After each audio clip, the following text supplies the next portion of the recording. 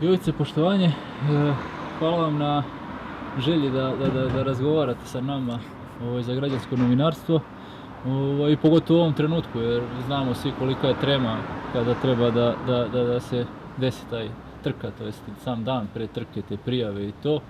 Ovaj, hvala još jednom, evo nalazimo se u Kormajeru, e, Italija, dolina Oste, iza nas, to jest iza tebe, ovaj, je Mont Blanc.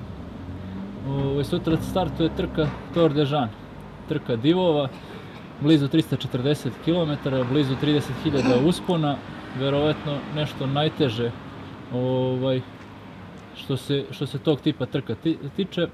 Ovaj, ja bih volio da krenemo ovaj razgovor nekom retrospektivom ove godine. Šta, kako, kako ste vi započeli ovu godinu i kako izgledao uopšte put vaš do, do, do ove trke? Hvala Dačo, prvo čast i zadovoljstvo biti sagovornik za građansko novinarstvo, za jednu divnu ideju, za jednu viziju, za jedan ideal. Samo nastavite tim putem i ja ću uvek sa radošću srcu i duši pristupati svakom našem razgovoru. Pa moram da priznam, godina je počela baš specifično za mene. Ušao sam u jedan projekat, jedan veliki projekat, trku u Kanadi, u mesto White Horse, čuveni Yukon Ultra Maraton, jedan od najtežih ispita izdržljivosti poznatih čoveku. I pričali smo o tome, tamo se desilo nešto što mi je definitivno promenilo život i moju perspektivu i gledanje na svet oko sebe. Tamo sam se susreo prvi put sa nekom svojom malodušnošću, sa, sa nekom tugom, sa, nekom, sa nekim strahom. Na 100 km od starta te ultra teške trke suočio sam se sa, sa nečim što, što je jako teško prenijeti rečima, ali pokušat ću.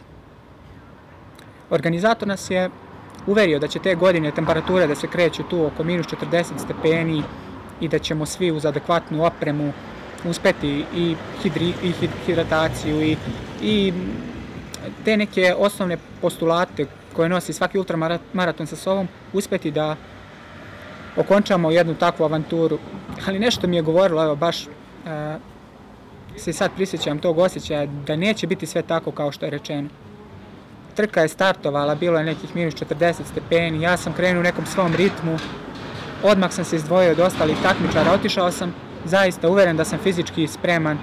Možda sam bio, možda je moj ego bio i, i izražen u tom i neka sujeta kao sad ću ja da tu pokažem nešto, spreman sam, trenirao sam kao nikad u životu, trudio se, dao sve od sebe.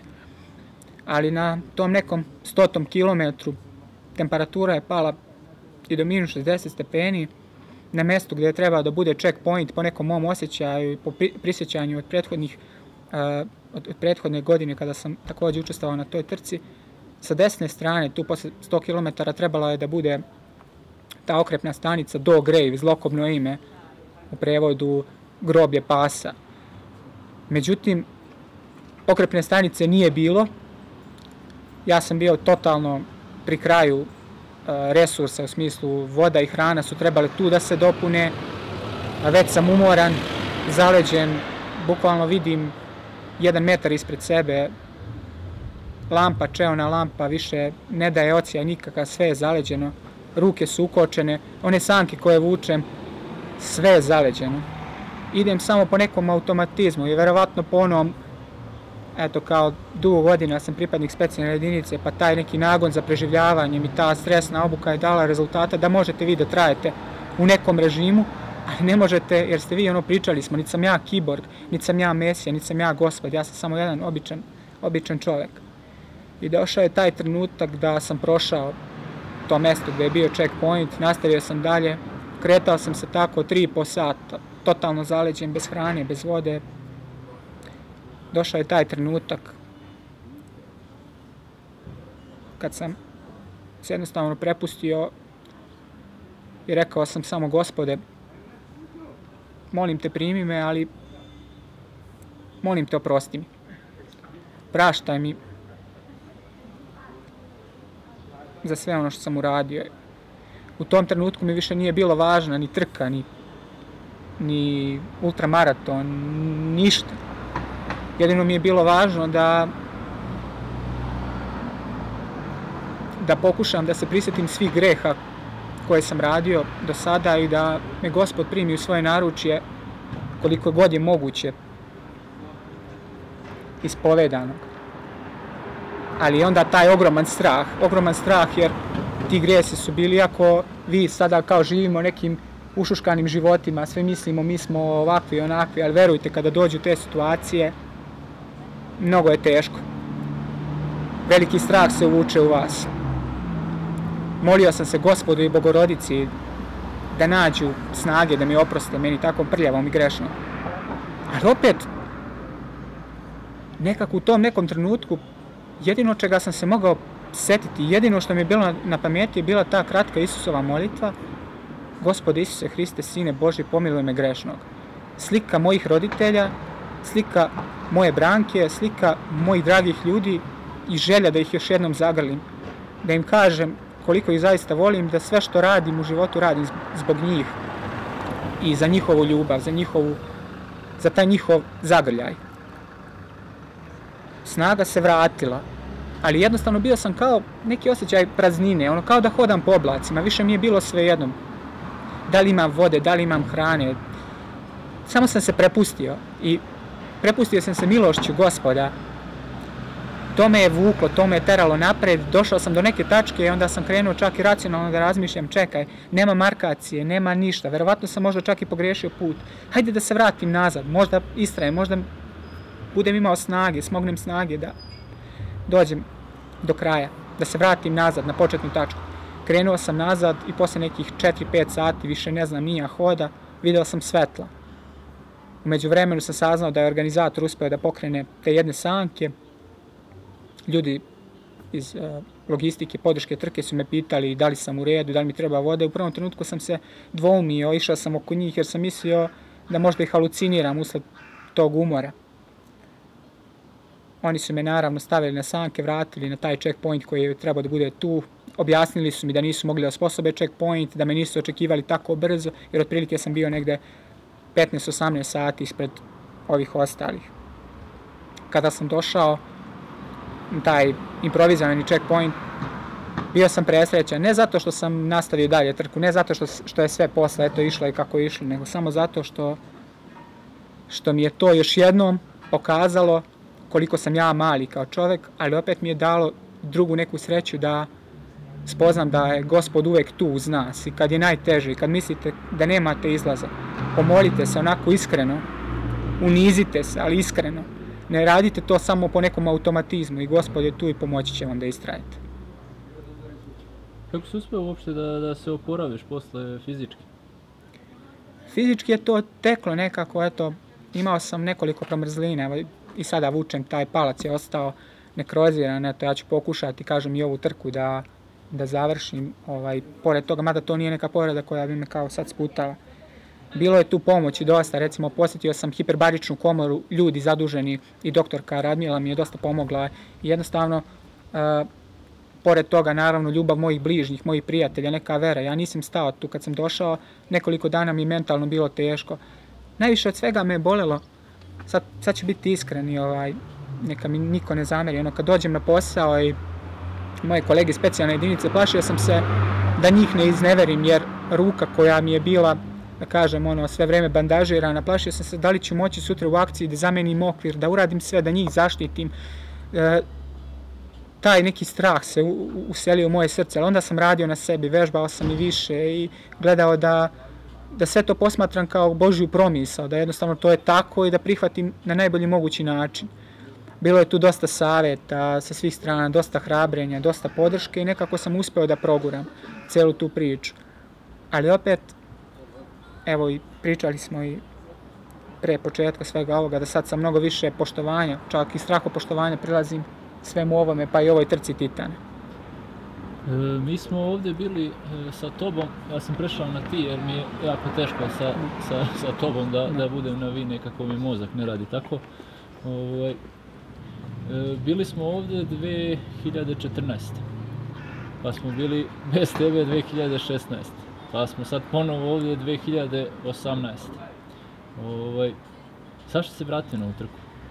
Pričali smo o tome, želim jednostavno da zatvorim jedno poglavlje, da ispričamo celu priču.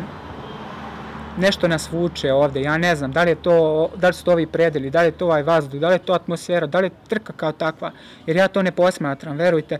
Evo danas Ja znam da su moje kolege iz specijalne jedinice na jednom jako složenom zadatku i meni srce pati što nisam danas sa njima, što nisam tu pored njih, da im dam svoju podršku, da budem deo tog tima, ali opet s druge strane znam koliko će našoj zemlji, koliko će toj deci koja će sutra možda opet doći ovdje da, da predstavljaju našu zemlju, koliko će svima značiti da mi nekako istrajemo, da pokažemo da jednostavno nije samo stvar kao sada imam najskuplju opremu, pričali smo o tome, ili ne znam, imamo voliko para, ili stvar je prosta, jednostavno stvar je neke vizije, ideje, ultra trkač, ideja, sve to ima, ne, ima neku, neku, neku dublju priču. Mi kad smo kretali da trčimo, mi smo sazrevali za ovaj tor, svi smo maštali. Evo ti si jutro skupio knjigu čoveče, kupio si knjigu tor, jednostavno to je ono pravo, to je esencija, ovo je esencija.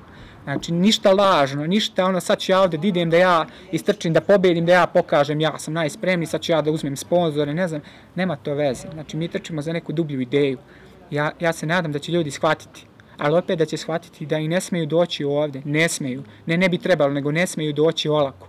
Jer ova planina je jako, jako, vidite kako je to lepo sada, sunčan je dan, ali zna da bude jako okrutna, ne treba se igrati s ovim, ali opet ja se nadam da ćemo svi zajedno uspeti, eto da ćemo se radovati na cilju.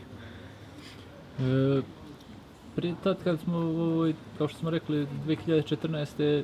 si stao negdje između 220. i 250. kilometra povredio si se, ovaj, bio jer, te, jer su vremenski uslovi takvi bili, pa nisi mogao baš ni da budeš 100% fokusiran, niti da, da, da, da kontrolišeš svoje pokrete.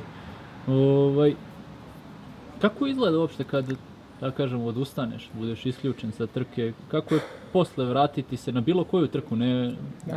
možda i lakšu trku, ali kako izgleda vratiti se posle odustajanja? Jako je teško, jako je teško mentalno, čovjek mora da da bude izuzetno uh, psihološki stabilan i mora da bude okružen dragim ljudima, mora pozitivno da razmišlja. Jedina prava istina je da je to Božja promisao. I samo tako razmišljate, da je to u tom trenutku bilo najbolje za vas, da jednostavno nije bilo drugog izbora i da ćete vi vremenom, ukoliko je suđeno i ukoliko se poklope kockice, opet ćete se vratiti, bit ćete bolji.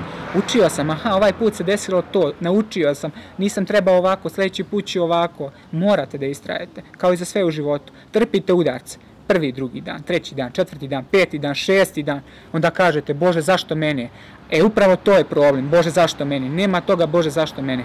To je tako, jednostavno se to dešava u životu. Sedmi dan će biti dobar, osmi dan će biti savršen, deveti dan će biti perfektan. Znači, izdržite tih šest dana, ustanimo, ono, borimo se, jer najlakše je pasti. Najlakše je pasti, odustati i reći, e, to je to, upadamo u apatiju, letargiju života. Hajmo da postignemo nešto, hajmo da se borimo. Bude teško i meni, ono, dobijate kao poruke ohrabrenja. Jednostavno, vi, ono, prijatelji vam šalju čista srca, ali vi ono, jednostavno uzmete telefon, bacite, kažete sebi, ma daj, kao, pusti me, šta ti znaš onda kaže čoveče, pa ti ljudi brinu o vama, pustite im neku lepu reč, oni su tu za vas, ta pozitivna misa vas jača, oplemenjuje, vratit ćete se, pamti se ono poslednje. Ja sam zaboravio tu 2014. Ja sad živim u 2018. Prošlo je dosta toga. Hajde da se radujemo, hajde da pozitivno razmišljamo. I sad, e, ovo pitanje nije da se okrećemo, osvrćemo ka, ka, ka tim ljudima koji to govore, ali česte komentar opet iz te neke ne bih ja rekao neke zlo, zle namere, ovaj, nego jednostavno ljudi mislim da, da ne shvataju baš najbolje neke stvari. Pa često ljudi kažu, ne znam, sad e, ja bi završio taj, e, ne znam, tor kad bi meni neko obezbedio, završio bi UTMB kad bi meni neko obezbedio sredstva da ja odem. Ko je, ko je tebi obezbedio sredstva da dođeš ovdje? Hoćete istinu da kažem jedina istina je prava istina jeste ako nešto želite svim srcem i svim duš, svom svojom dušom to će da se ostvari potrudite se. A ono što stalno Dačo pričaš, ti ako si odlučio da trčiš 330 km, a da ne možeš da sakupiš 1000 evra ili 1500 evra koje su kao basnoslovne cifre, nisu. Znači stvari je u tebi.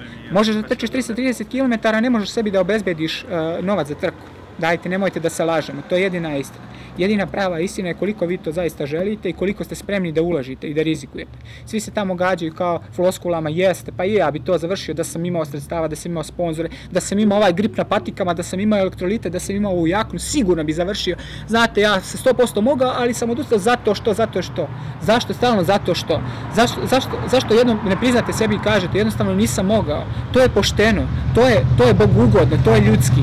Isto tako, ja ne znam da li ću završiti ovu trku, nisam siguran, ali ja jedino znam da ću dati sve od sebe i da ću biti pošten i da neću reći, e, odustao sam zato što mi je kamen upao u patiku. Ne, odustao sam zato što dalje nisam mogao i to je jedina istina. Naravno, ja kažem Bogu hvala, zahvalan sam gospodu što ima tu ljudi koji su stali uz mene, koji su pomogli, moja porodica, moji prijatelji, moje kolege s posla, tu ljudi čista srca, kompanija, ne znam, Sibirsko zdravlje, ljudi iz ultratrkača, Aleksandar Đaković, 5. i 10. milion ljudi tu, da ih sad sve ne spominjem, oni znaju koji su tu. Znači, nije stvar opet da ne može, nego jednostavno koliko vi to želite.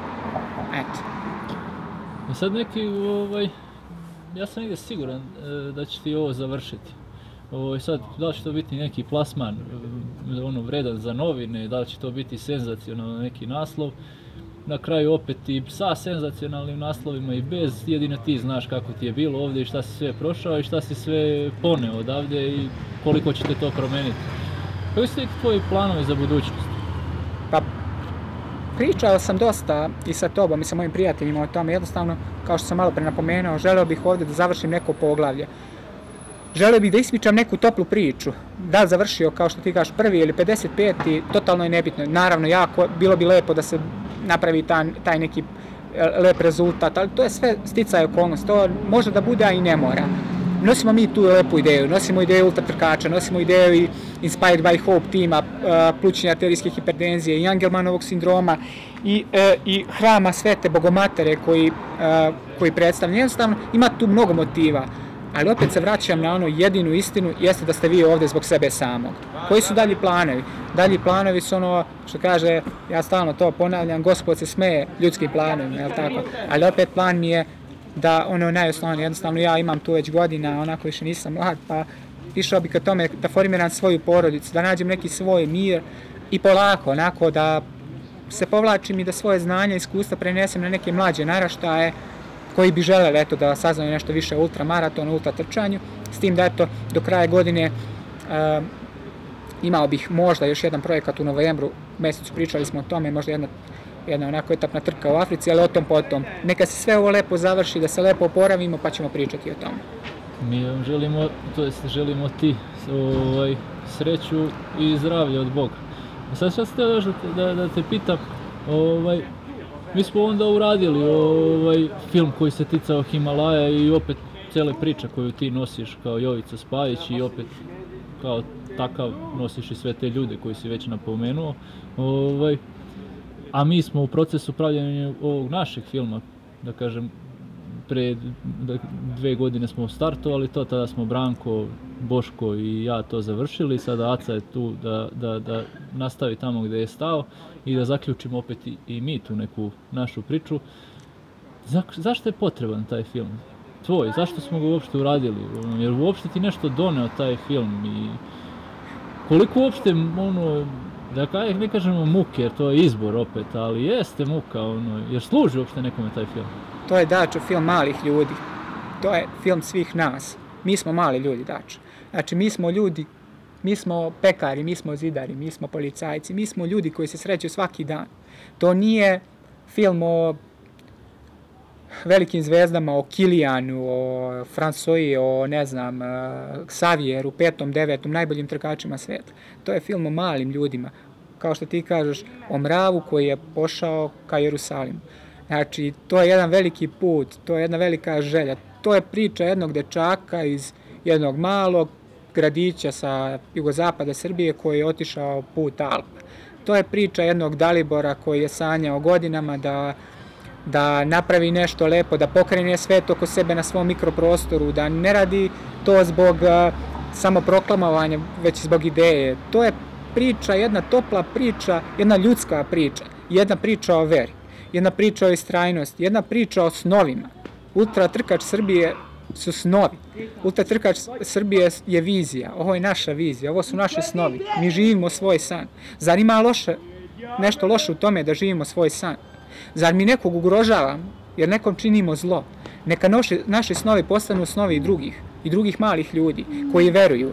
Ne moraju to biti uh, trka titane, neka to budu neke njihove borbe, neka to bude put ka fakultetskoj diplomi, put ka nekom poslu koje oni žele, put ka ostvarenju onih najdubljih i najiskrenijih snova. Jovice, e, hvala ti puno na izdvojenom vremenu i ja bih voleo da, da zaključimo ovaj razgovor nekom tvojom univerzalnom porukom svima nama. Pa znaš i sam, jednostavno mi imamo ono naše, ta parola je deo nas i prati nas od osnivanja ultratrkača, ako se sećaš i kad smo se sreli, maštali smo i smišljali smo šta bi to moglo nas da determiniše nas da odredi, koja je to parola. I naravno, to je ono, ko sme taj može i ko ne zna za strah taj ide napred. Jovice, hvala još jednom i srećno sutra, neka bude što biti ne može. Slažem se, sve najbolje, hvala vam.